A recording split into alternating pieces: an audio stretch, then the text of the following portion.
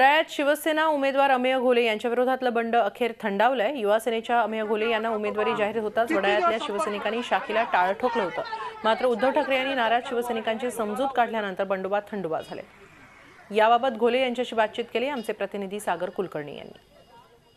मुंबई महापालिकेत दोन युवा सेनेचे उमेदवार देण्यात आले होते. त्यामध्ये समाधान सरवणकर तर दुसरा अमेय घोले. याच उमेदवारावरनं चर्चा झाली. काल अनेक ठिकाणी वेगवेगळे प्रकारही घडले आणि त्याच्यानंतर आज ते आपल्यासमोर येत आहेत. आज अर्ज दाखल केला. सगळ्या प्रकारची शांतता झाली आहे का आता? कारण की सगळ्यांकडे सगळ्यात जास्त जे काही वेगळ्या प्रतिक्रिया उमटायच्या होत्या त्या आपल्या उमेदवारीवर नंतर उमटल्या होत्या. आज शिवसेनेमध्ये हेच भाग्य आहे की शिव इतके इच्छुक असतात की आज प्रत्येका इतकं भाग्य कुठल्या दुसऱ्या पक्षाकडे नाही आहे की आज प्रत्येक ठिकाणी कॉम्पिटिशन असते प्रत्येक ठिकाणी आज या प्रकारचं आपल्याला बघायला मिळतं.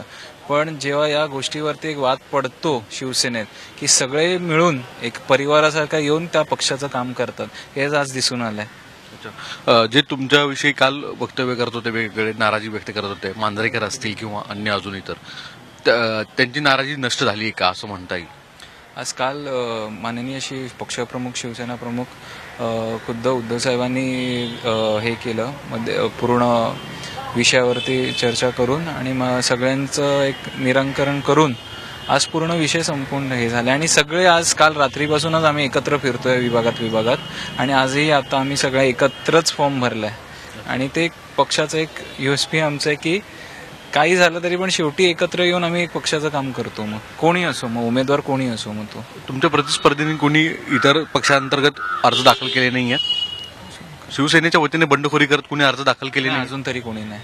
अजून तरी कोणी नाही. तुमचा विजय तुम्ही निश्चित समजता? शंभर टक्के विजयासाठीच लढणार आणि विजय खेचून आणणार. बाळासाहेबांसाठी आणि उद्धव साहेबांसाठी.